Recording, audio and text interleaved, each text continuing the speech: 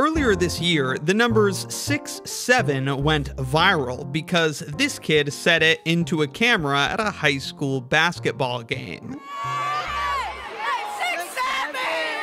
I like keeping up with the latest and greatest in viral numbers, but I only recently encountered this one due to a resurgence of the meme, turning the iconic 6'7 kid into an SCP horror creature. Scarier than the SCP 6'7 horror videos was this video of a kindergarten teacher counting with her class. Three, four,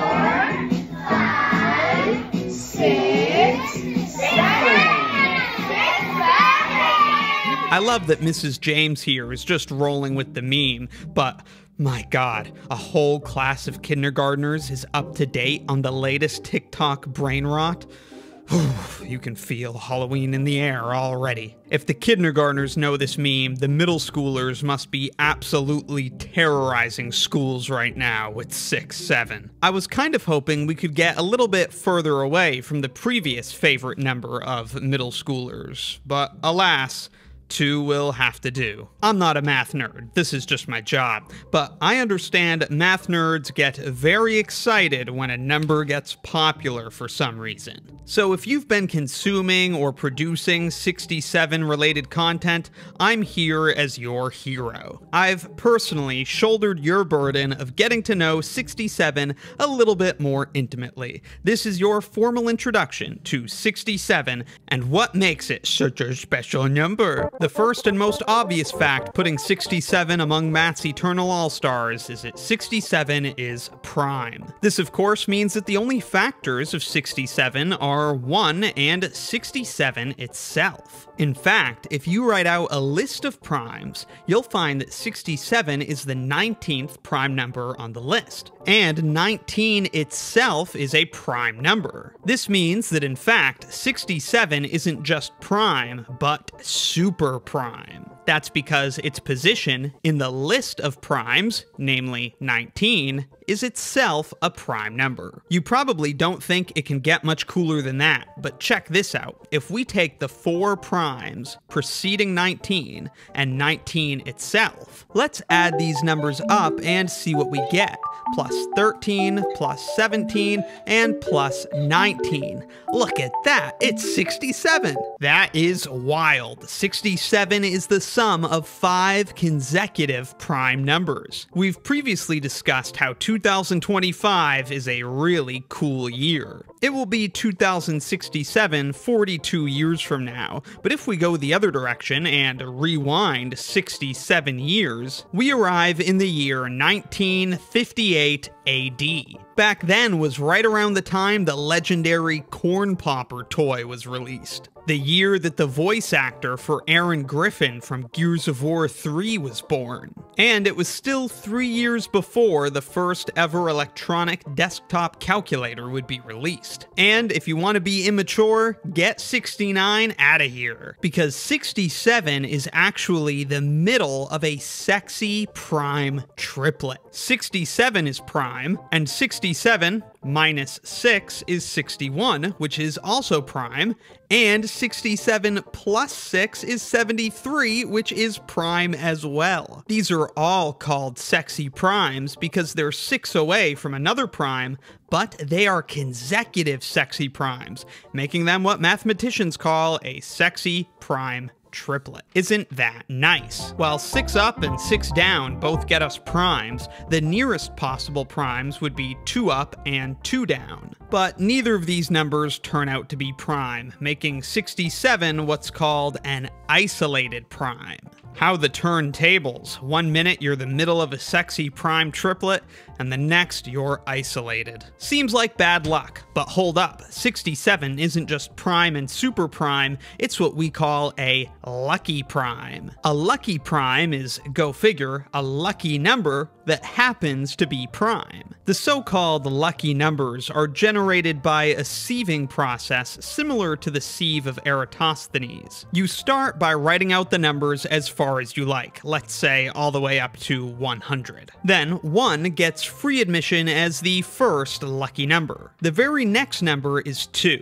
So what we do is, beginning at 1, eliminate every second number. So 1, 2, eliminate 2, 1, 2, eliminate 4, 1, 2, eliminate 6, eliminate 8, eliminate 8, 25, 30, 38, 40, 50, 56, 57, 8, 4, 80, 90, The next surviving number, and hence the next lucky number, is 3. Then, beginning at 1, we eliminate every third surviving number. So, count 1, 2, 3, 5 gets eliminated. 1, 2, 3, 11 gets eliminated. And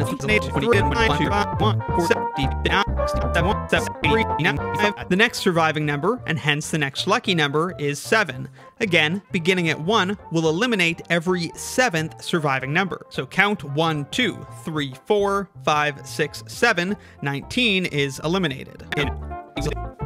The next lucky number then is 9, so we'll eliminate every ninth surviving number, again beginning at 1. So that means 27 gets eliminated, 57 gets eliminated, and 91 gets eliminated. So the next lucky number is 13, beginning at 1 will eliminate every 13th survivor. So goodbye 45, and goodbye 97. The next lucky number is 15, and this will cause us to eliminate 55. I also accidentally missed 85, which should have been eliminated earlier. Continuing this process will produce all of the lucky numbers, but it will not eliminate any more of the numbers in this list of 1 through 100. So every surviving number on this list is indeed a lucky number. Of course, most significant to us is that 67 is on this list. So we see indeed it's a lucky number, and it's a prime, hence it's a lucky prime. Of course, when you look at these lucky numbers, you can see that some are prime, like 3, 7, and 67, whereas some are not prime, like 99 and 69. And it's actually not known if there are finitely many or infinitely many lucky prime numbers. But here's a type of prime where we can say if there are infinitely many or not. They're called Chen primes. A prime number p is called a Chen prime if p plus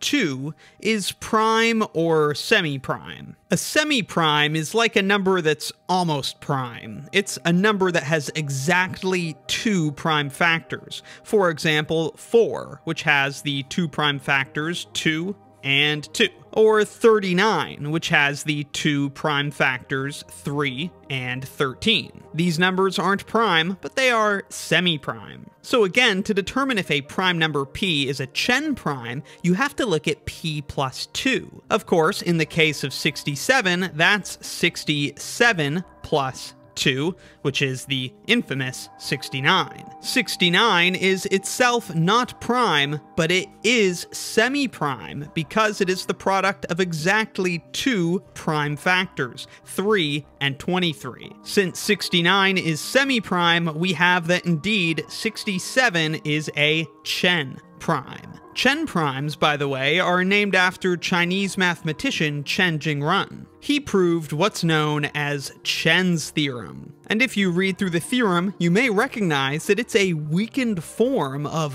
Goldbach's conjecture. Goldbach's conjecture is one of the oldest and most famous unsolved problems of mathematics today. Back to 67, it isn't what we call a palindrome on account of the fact that 67 isn't the same as 76. But if we write 67 in base 5, we get 232, which is a palindrome.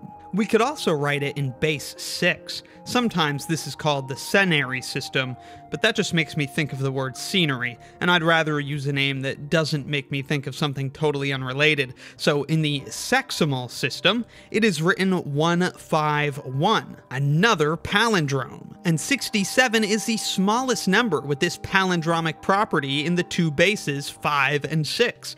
Are you filled with warmth, hope, and glee yet, my friends? People who always insist on using decimals make me sick. We could have 1 over 11, nice and simple, or we could have 0.0909090909 repeating. Yeah, bro, decimals are so much easier. Then you have something like 1 over 7. Or if you're a decimal guy, you just use a much easier 0.142857 repeating. Well, let me tell you this no decimal guy is going to be brave enough to defend his stupid position when he encounters 1 over 67, which is 0.014925373134328358208955223880597, repeating a sequence of 33 digits. This is Subaya Sivasan Karana Rayana He is the namesake of the numbers he studied, called the Pillai primes. A prime number p is a Pillai prime if there exists a positive integer n whose factorial is 1 less than a multiple of p, but also p is not 1 more than a multiple of n. So you can see that 67 is a Pillai prime because 18 factorial is 1 less than 95 trillion 557 billion 816 million 503,403 times 67. And 67 is not one more than a multiple of 18. And of course, we can't finish without mentioning that 67 is, in its essence, part of one of the most well worn math jokes of all time. Why was 6 afraid of 7? because Seven was a registered six. I'm unstable, I'm feeling hard to keep the cable cut and the table. If Texas Instruments don't reply, I think this time it might be fatal. Wish to sell my fake, cause I'm jaded. Hate the odds I calculated. Press and pull and pray and push it all the way through the whole blue planet faded. Psychosomatic habits, why you so, so dramatic?